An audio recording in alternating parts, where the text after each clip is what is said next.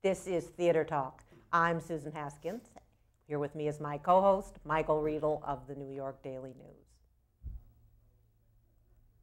Director, choreographer, performer Tommy Tune has won nine Tony Awards for such classic Broadway musicals as My One and Only, Grand Hotel, Nine, my favorite show, and The Will Rogers Follies. Mr. Tune has a memoir out called Footnotes from Simon & Schuster, and he has a brand new CD called Slow Dancing, and we are delighted tonight to be joined by Tommy Tune. Hi, Welcome thanks. to Theater Talk. Thank you. Now, uh, Tommy, you're not uh, um, uh, a wise old man of the theater yet. What prompted you to look back on your life and write a memoir at, at this stage of the game I broke my foot. in Busker Alley? Yeah, uh, one week before we t- were to come in in Tampa, we were coming in to start previews in New York at the St. James Theater, and in the last 30 seconds of, of that performance on a Sunday matinee, I slipped and I broke my foot, and the whole show collapsed. And I was laid up with a cast on my foot, going nuts because I was in the best physical shape I'd ever been in, dancing better than I'd ever danced, which is saying a lot at this age that I can say, but I mean it. Something happened on that show towards the end, and it, I, I don't know, something happened. And I had this accident. So I didn't have anything to do, and I was going nuts, and I was trying to sleep, and this voice voices in my head, and one voice kept saying, I never had a grandfather, I never had a grandfather, I never had a grandfather. So I just rolled over in the middle of the night and wrote that down, and then that released me, and I was able to sleep. I woke up the next morning, and went, What's that? Oh, I wrote that down last night. I never had a grandfather.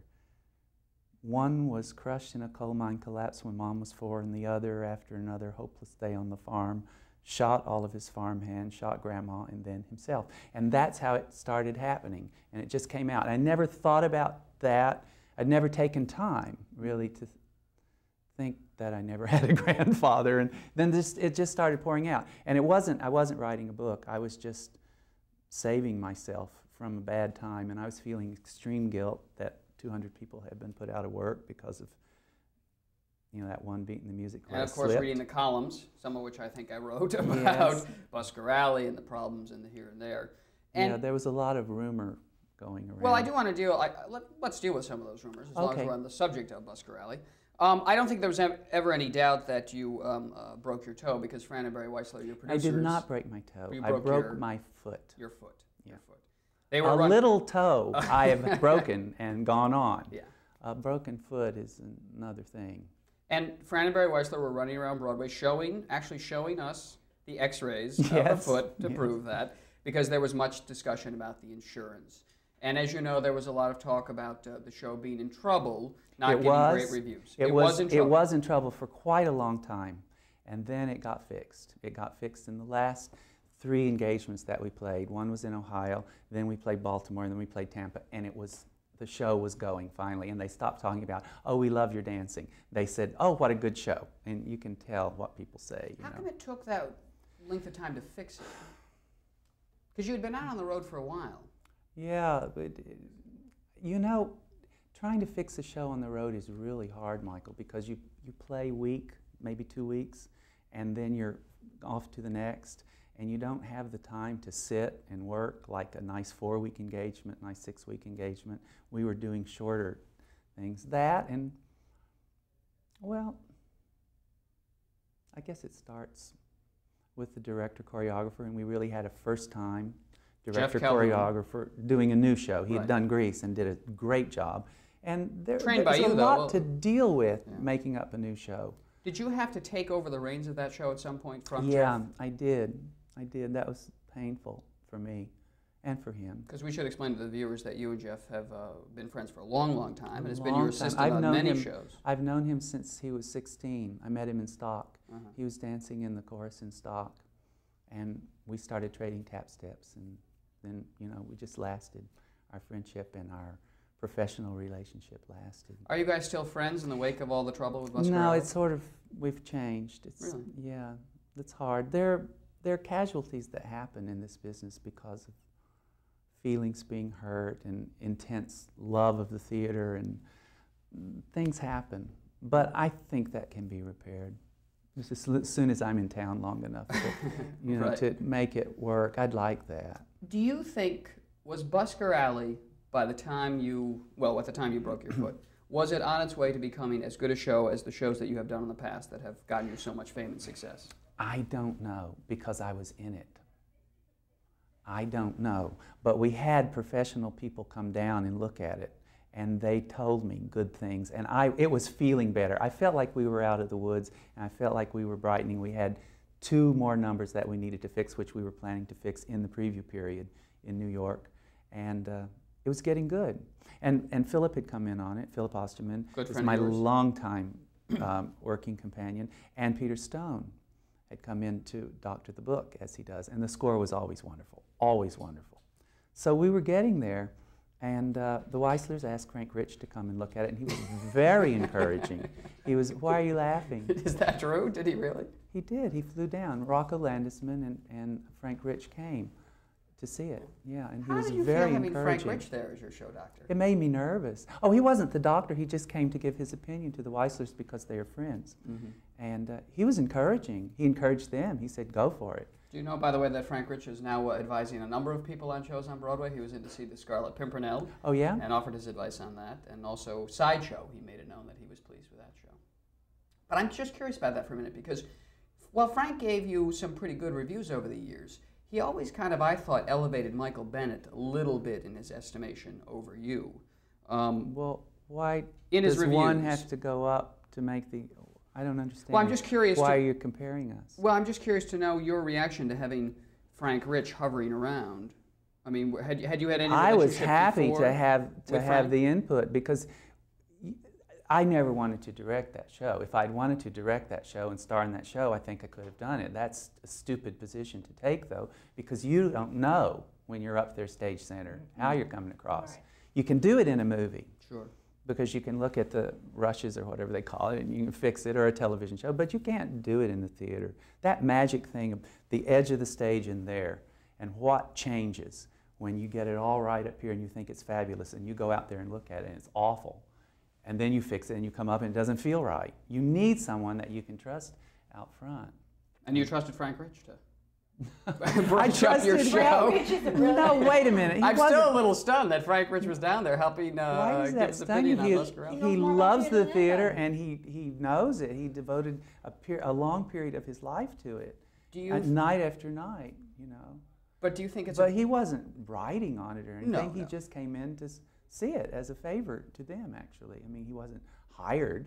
do you think it's appropriate for a journalist to to cross that line from having to keep an industry that he has covered at arm's length and suddenly be brought in to advise people he may write about? Well, he wasn't writing then. He was no Mm-hmm. He'd gone to the longer. He was no column. longer the critic, uh, the, the lead critic for the New York Times. Of course, he was still writing about Broadway in general in his column. He write, he's written a number of columns about Broadway. So, just But he was not a was- critic. yeah. You know, it's a different thing. Well, was his Would- was his advice sound? Is Frank is Frank good at? Well, uh, listen, I took the encouragement. You know, he was smiling and he said, "Hey, terrific," That's and great. I was happy to hear that. And um, any chance that you would uh, ever do Busker Alley again, or is it just tied up in litigation? do you want to know insurance the oddest thing? This very day, as I was going out to do these interviews, uh, I got I got served with a subpoena for the, the for the insurance company Lloyd's of London to appear at a hearing about this very thing, my broken foot. So I mean, it, they're still going on. They're still wrestling back and forth, and I don't know what the story is. And I have to go in the midst of my big tour, my big book tour, pushing my album. I have to go to, court and tell my story once again about what happened. That Ooh, when is that? I have to get there with my notepad. Can you let me know when your when your court te-? I tell you everything I know, and that I don't think that I will reveal anything new to them, but I guess they want to hear it from the horse's mouth. What an unfortunate metaphor. Very funny. I don't want to make this all about Busker Alley, uh, ancient history. Oh, Let good. Let's talk about- back to the book.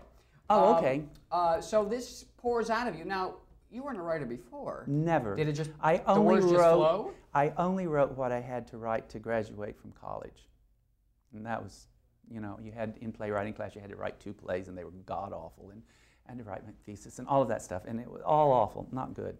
And I certainly didn't set out to write a book because I'm not a writer. But it started pouring out, and after about eight months of writing it, it started to pile up and become something. And so I took a month off just to let the dam full up, fill up again, and then it poured forth. And I wrote for two solid months, and right through the end. Mm-hmm. And I, the day that I finished, I gave it to my assistant Tom Reedy to type. He typed it, and I called Sam Cohn, my agent, and I said, "I think I've written something that people might want to read. Would you read it?" And I was so nervous to give it to someone to read. And that was on a Friday. On Saturday morning, he called me and he said, I read it last night in one sitting, and I think it's really something, and may I take it to the, um, the literary department at ICM? And he, he took me in to see Esther Newberg on Monday, and on Tuesday it was sold to Michael Korda at Simon & Schuster. Like hmm. that. Now that's, I was so lucky because I know that wonderful books kick around from publisher to publisher sure, and sure. all. So I felt really, you know, lucky that, that he wanted to publish it. In the writing of the book and looking back on your life, was there anything that, maybe a number of things, that you discovered about yourself that you have been more open with now? Because I've interviewed you before, and you've always been guarded about your personal life. But this is a very, very personal book. In I've fact, never been asked about my personal life in an interview. I really have not. People have always asked things about, well, do you think Frank Rich is a good idea to Dr. it's always about the work. it is all because my work is much more right. interesting than my personal life. But again, I mean, it's a Broadway memoir with a little boudoir thrown in. That's it. a little sex, and, a little sex. and you know, to write, if you if you're going to write something like this, you have to. If you can get to the truth, you need to write it. Mm-hmm. Uh, and and if you lead up to the truth, and then suddenly you cross your legs, then you are being coy, and I'm not coy. And we're heading towards the end of the millennium. I don't think it's time to be coy. I think it's time to, if you can get to the truth, to share it with someone. I think it's your obligation in this kind of book. Mm-hmm. This is nothing, there are things in this book that are secrets, things that I would not discuss with you on television, things I would not discuss with you over dinner or on the telephone. But on the subway, I felt I felt in writing it that I was writing, and perhaps the per and of course the person is reading, and there is a it came from here and it came down my arm and I wrote it. I wrote it by hand. And things came out, secret things, that I feel comfortable in your picking up and reading. Because then I am not even speaking to you, but there is some soul truth mm-hmm. part of me that's hopefully touching some soul truth part of you. And there is a response to the truth, I feel, that is undeniable. When you hear the truth, whether you like it or not, it rings. And I, and I, I was really shocked at what I'd written. I didn't know that I was harboring certain feelings. I didn't know till I got it out. And then the thing about writing, which of course you know because you're a writer, but I don't know, is that once you write, you are forced to look and say, This is what I think. This is what I think. I'd never taken time to do that. I was too busy putting on shows. So it was liberating for you in a way to truly, kind of think about your life that closely, that intensely? Yeah.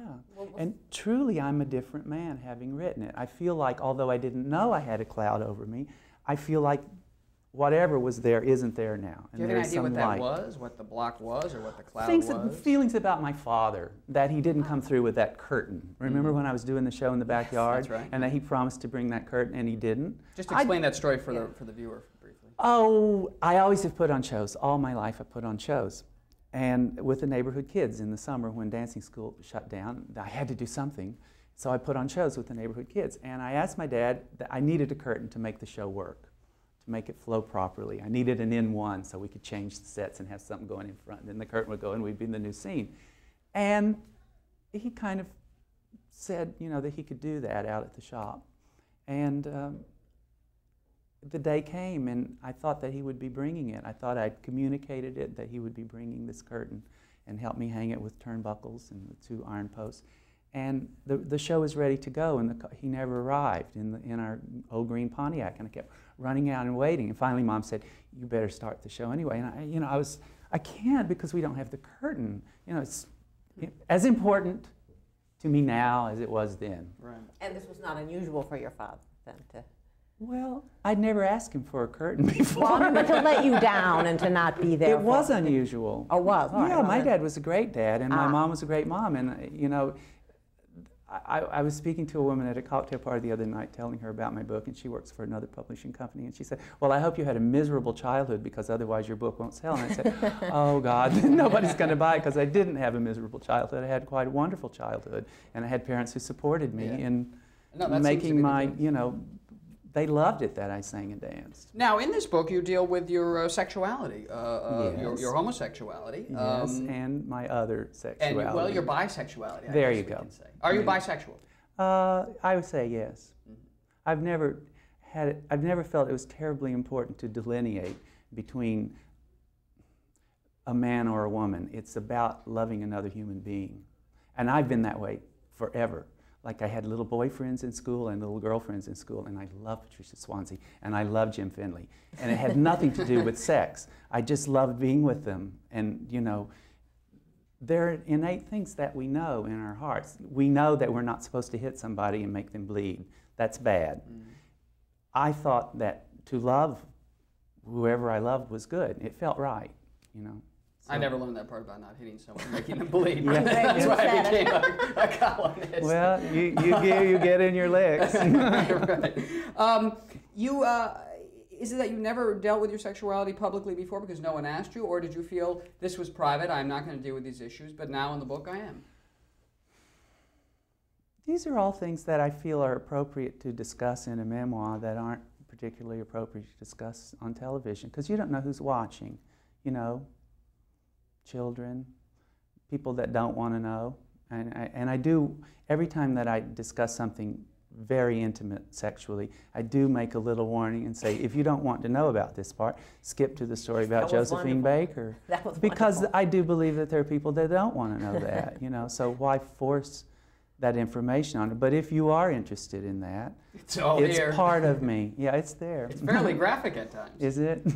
well, we, I, I understand you don't. well, want I to don't address, blaspheme, Michael. No, and I understand you don't want to necessarily address these things spe- specifically on television. but I am just curious to know why the sections on the graphic sexuality.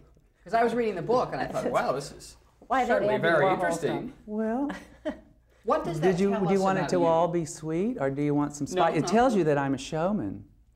The and sexuality part? yeah? Showing. No, uh, uh, I know how to put on a show, and that's a show. That's a that's a dance. Do you know what I mean? This And there are true. all kinds of spices that There you put there certainly in to make a, a, a stew. You just you don't you know. Read the book for You the- need pepper, you need salt. A little touch of curry is nice every once in a while. And you know. if you hadn't put it in, we wouldn't have believed you. well, you, know, you you are a know, man yeah. in show business. And Well, yeah, come on. Yeah, come But know. I mean, it's not wasn't so deliberately Michael, calculated. I, I want to sell books. a I'll put some sex. Is this an exclusive? to hear That him you talk, you would use think it is. no, really, it's fascinating though because you, you really have not discussed this stuff as personally as you do in this book. Well, of course before. not. I haven't had this forum. A, a memoir is, is, is another is a new forum for me. You think I'm going to come on a radio show or a television show and blab about my sexuality with no one asking? Excuse me, I just want to get something straight, and then blah. Come on, it's it's what's appropriate. It's a it's called appropriate behavior. well, you have to read the book for the juicy. I'm telling you, if your Broadway career ever washes up, you have a good uh, good career in writing pornography. Because it's, It's, it's not pretty graphic. Is it pornographic? It's fascinating. Oh well, I'm For glad the you're prurient titillated. Broadway people like myself. I just, did, I just, ju- the only section that even raised my eyebrows was the Andy Warhol story, and so that's I just want to say everybody. I don't think we can discuss that Well, one no. on the camera. So But I want to I, let, let us move from your personal life to your work. Um, Okay. I am curious if you can tell tell us how you, being a legendary Broadway director and choreographer, create a show. Can you sort of specifically take us through, I don't know, um, maybe nine, and tell us what goes on in the mind of Tommy Tune that creates the great Tommy Tune seal that we all recognize in a Broadway show? Well, first of all, I just do it the only way I know how to do it. I do not try to do dazzle you with my theatrics because I do it the only way I tell the story the only way I know how to tell the story. Secondly, it is not my creation. I'm, I'm an interpretive artist. as a choreographer, I'm a creative artist. As a director, I'm an interpretive artist. Someone writes it. I can't direct air. So I peer into the material that's written and think, how can I bring this to the stage? What is the, what is the best way that I can bring this? What is the only way that I can bring? Because if it's if it's really right, it's inevitable. And once you get the ball rolling, the show starts to lead you. If it's any good, if you're wrong, it goes nowhere and it, and it dies. And I've had my flops. But if it's right, it starts leading you, and you don't have to impose yourself on it. You just have to give it what it needs. What do you want? How can I help you? Mm-hmm. It's the same way as painting. When I paint, once the first stroke is made, the next stroke is it, it tells you what to do mm-hmm. and the color and the form. Now I've heard that you I had heard you were a painter and also that you you sketch a lot. Your your I draw, images of the show. Yeah, I do. Set, what is this like storyboard? I like storyboard. You storyboard a Broadway show. Yeah. Yeah. Interesting. To keep it straight in my head because there's so many images. Because music, you know, sends you so you gotta you gotta hold it somehow in the planning stage. Mm-hmm. You know, I don't necessarily follow it once it gets on, but Will Rogers Follies I pretty much storyboarded throughout. The whole thing. Yeah. But a lot of shows come together. A lot of your shows, my one and only, I'm thinking of, and, and, and Grand Hotel, in that crunch time. I know. When you're out of town. And once you get back, here, here's what happened. It was started with Seesaw. I had just returned to, I'd, I'd, been dance, I danced in the chorus on Broadway, and then I went out and made some movies.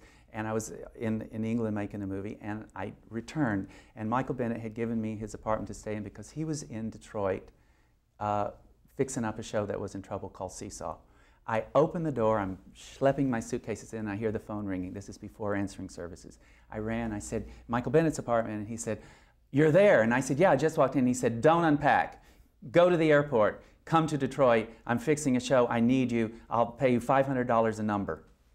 Wow. And off I went. I never got paid, but who cares because I got in the show. And, and, and that process on Seesaw, which was a disaster out of town, and he just kept working on it and got it on at zero hour, has somehow implanted itself in my life, and it seems that every show that I do is a disaster until at zero hour I find it. I do not. I doesn't, wish it didn't work I that doesn't way. That get, doesn't that get a little wearing on you? Doesn't it yes, you out after Yes, because I think when I go into rehearsal with the script, I think I've got it. You know, I think this is it. And then it gets up there and you're, to- you're always surprised. And that's the process. And the, the process for, I think, as the director, is to go in every day with baby eyes baby eyes. Meaning, I'm sorry, baby eyes. Baby eyes. You've never seen it before. A ah. little baby opens his eyes. Oh, that person comes out on stage, waves his arms. The girls start singing. Oh, what does that mean? That means he has power over those ladies. Oh, now they're getting up and they don't want to sing anymore. He's losing power. And I just keep going back and looking at it with baby eyes. That was, I was talking about nine, of course. Mm-hmm. But it, it's the baby eyes. If you think you've got it all and, and, and then you go in and you see what you want to see, then you've lost touch with it because it's an illusion and you're not, you're not connected to what the audience is. You have, and it's hard. One, you've been working and you've got, done all the details of a piece of choreography, and then you go back and you try to see it. You can't see it. You have to come back the next day and look at it with baby eyes. Hmm. Do you really like directing? Um, somebody told me that you weren't crazy about directing. It's something that I've always done that I've been given, I keep being given the power to direct. We want you to direct this. Oh, but I'm the star show. But yeah, but if you don't take over the show, then we're going to close it, like what happened with my one and only. It's not anything that I went for. Really? I did not set out to be a director. I set out to dance in the course of a Broadway show. I didn't know they, they came, you know, smaller than me. I didn't six foot six and a half does not a good chorus boy make. But what did I know? I mean, you know, I, I went the kid from Texas, and I wanted to dance in the course of a Broadway so show. So almost in spite of yourself, you have become it a great happened. Broadway director. It has happened, and I'm grateful, and I love it when I'm doing it. And there are times that I don't love it, when you know you get, well, you get once the show's up. The the first pass through the show is wonderful because it's just you and the actors. And then the people come in to look at it and then say, oh no, you've got to start the second act this way and you've got to, you've got to. And you hear all that information. And, and in the, it's hard to, to keep, stay true to the piece and yourself and what you believe is there, and still please everybody else if you can't. Now, I do want to ask you, you had really enormous success, one after the other, with uh, Best Little Whorehouse and Nine and uh, My One and Only, Grand Hotel, The Will Rogers Follies. There has been, though, the period for the last few years, beginning, I guess, with the Best Little Whorehouse Goes Public, which was a big, big flop. flop, yeah. And the problems with Busker Alley. And Grease, which you were involved in, is a success. It's a success, and I don't mean to argue with success, but the critics were not really crazy Oh, about well, that show. nobody's ever liked Grease. Yeah. I But mean, particularly your production the of Grease, the critics no, were the tough on. read the original reviews of Grease. No, it is the show that the critics love to hate and the audience loves to love, and that's just the way it is. And I don't listen. Grease, I don't get Grease. Right. Was this? I don't, but I know that it makes people extremely happy. Happy, It makes and gobs I of money love for that. everybody. Well, I love the money. That's really nice. That's that's that's the cream. was that difficult for you to have had such success and then to have Oh, such yeah. a let come me, down? Let me tell you something that happened. In the midst, up until Grease, I had this amazing agent named Eric Shepard who was my guardian and the, the man behind the man, and he created my whole career. And he died of AIDS on my birthday mm. while we were in rehearsal for the Will Rogers Follies. And nothing has really happened great for me since Eric's death in this business because he was such a Uh, an incredible force and he did it with such love for me and the theater and he had an innate sense of what I was right for and he helped me with my choices and he was a great agent of the old school mm-hmm. who would say you will take 7% of this show. 7% of something is better than 10% of nothing. Do it. Like that. So he would never ma- let a let a deal let a deal breaker exist if it was something that I wanted to do and that he felt that I was right for. Mm. And I have been at sea without Eric. I, I've been at sea without him because one needs, an artist needs that kind of guidance in the marketplace because I'm not a businessman at all. Not at all. I have not written a check in 30 years. I don't know how to do that. I, I literally do not know how to do that. I'll teach you. You can write one out to me. so, uh, when you say you're at sea, you're starting a new project down in Australia, Easter Parade. Yes. Got the rights to great Berlin songs. You're going to star and direct it, star in it and direct it with um, co-direct it co-direct with it Philip. Yes. with Philip Osterman, your friend. Do you feel that you are finally pulling yourself out of being I at sea? hope so. Otherwise, I wouldn't be wasting people's time and money. I hope so. I, I think it's a good project. I, it's been v- a long, long time since we've had Irving Berlin music on Broadway, and it is great music. I mean, his his his catalog is just astounding. What this man wrote, and it's they're real show tunes because they have a lot of energy. They hit the back. You can do them without mic.